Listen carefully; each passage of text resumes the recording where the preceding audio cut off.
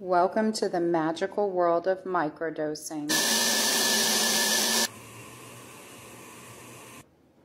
We're powderizing multiple fruits, different types of magical fruits. Makes it much easier to measure out small amounts 0.1, 0.2, even smaller. Not much is needed to benefit from the magical microdose. Cheers.